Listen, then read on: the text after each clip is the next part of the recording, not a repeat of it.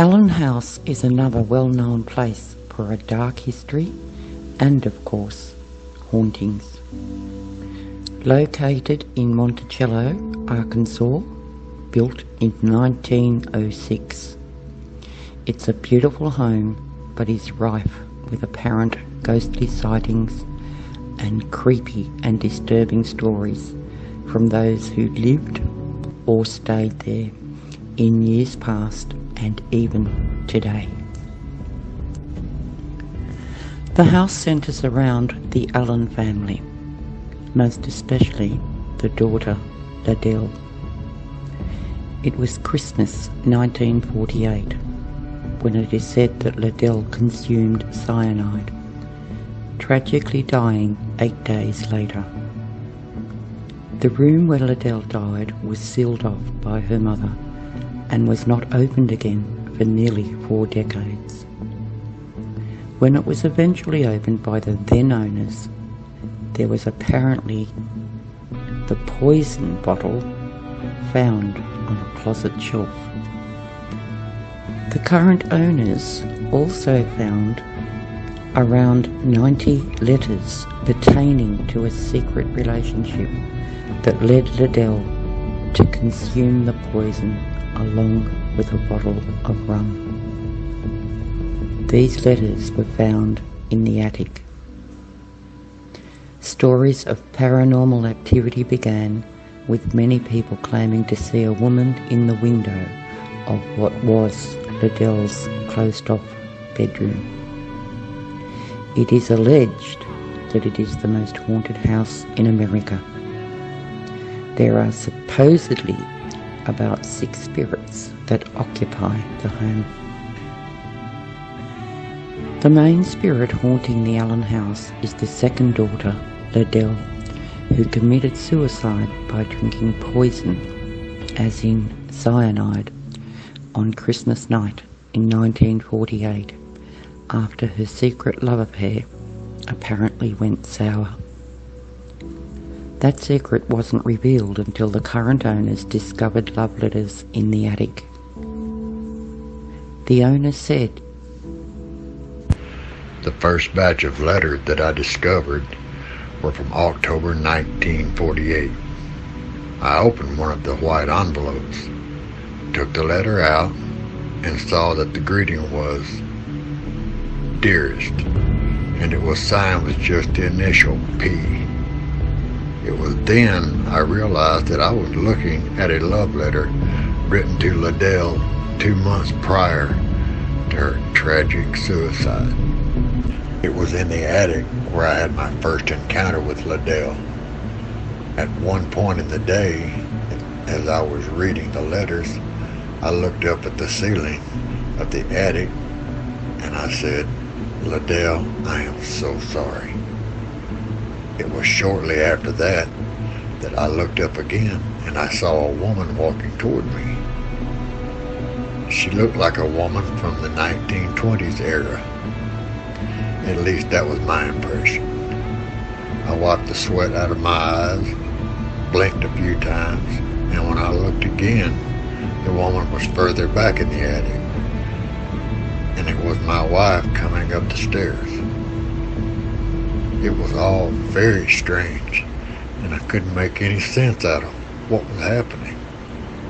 The ghostly woman was approaching me, and then suddenly my wife was entering the room, and the ghostly figure backed away and disappeared. Another encounter I had with Ladell was in the bedroom where she had consumed cyanide. At first, I thought it was my wife. Ghostly figure was standing in front of the bedroom window. and seemed to be intently peering out. But the odd thing was, the drapes were closed, so she must have been looking right through the closed curtains. I walked towards her, not taking my eyes off her when I get about three feet away, ready to speak to her, although I had no idea what I was going to say. She just then vanished completely right before my eyes. I stood there, unable to think, speak, or move for a minute or two.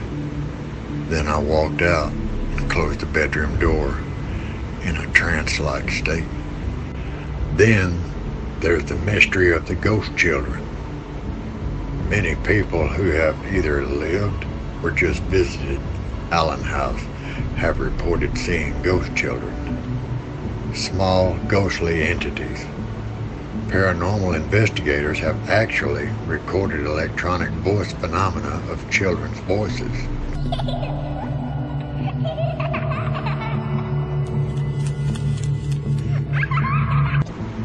Even some guests staying in the house have recorded the voices of these lost ghostly children throughout the house. On a postcard of the house from 1908, one can clearly make out the ghostly image of a young boy on the left side of the front steps. In 2010, the wife of the current owner met face to face with a ghost child. She said, As soon as my eyes locked onto it, I just could not look away. I was transfixed for around 10 seconds or so, just looking at the little girl. Looking at her wasn't scary. What was scary and very disturbing was that I couldn't control my reactions on seeing her. As soon as I saw her, I could not breathe. It was like my internal organs all wrenched up together, and I couldn't do anything except stand there, frozen, unable to move. Once I was able to blink and look away, the apparition of the ghostly little girl just vanished.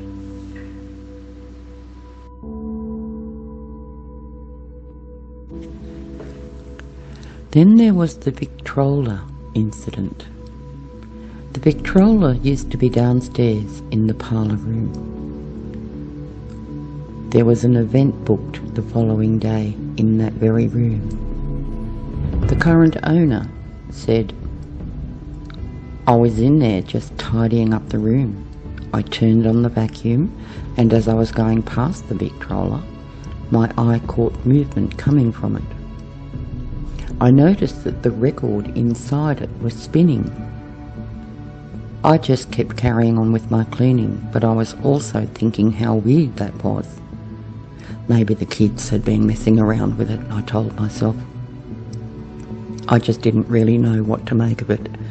But as I was preoccupied with getting the room ready, I continued on and took no more notice.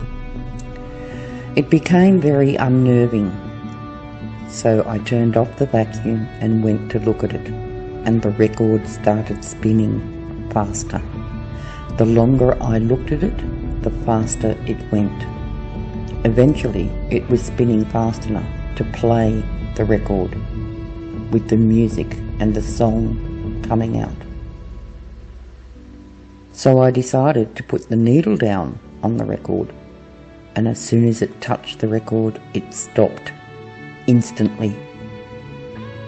A sudden halt, and there was just deadly silence.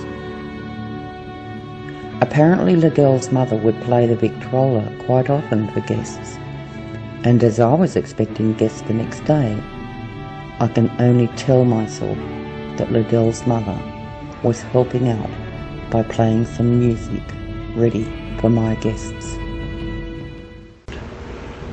There are many more haunting stories from Allen House. There are guided tours for anyone game enough to explore and possibly experience their own sightings. Would you?